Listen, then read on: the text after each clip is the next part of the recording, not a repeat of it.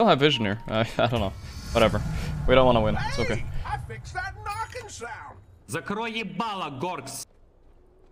Bro, I had to deward my own fucking ancient. Hope you win.